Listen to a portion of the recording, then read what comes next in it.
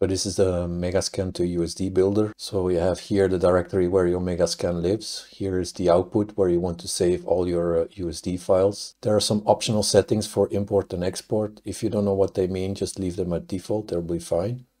And then here you can batch convert all the files. So now it will build all the um, Solaris nodes.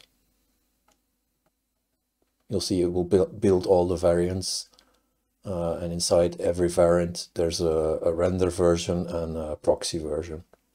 Check it out. So this is the proxy version, but as soon as you do the XPU render, you see it's all nicer. It's a high higher resolution uh, object if you compare it to the, you see. And to show that the variants are there, uh, explode, add an explode variant. Mm, put it to explode 0 0.2 here you are. And if you render that again you'll see that uh, it's the high resolution object.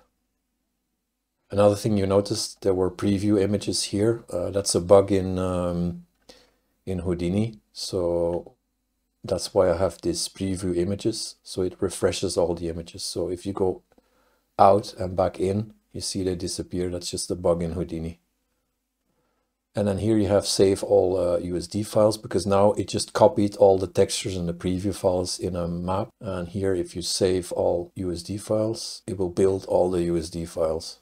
Once that is done, you can go, for example, here, the USD files, and then it makes all the USD files that you need and as well the variants in the separate map. That's it. Bye bye.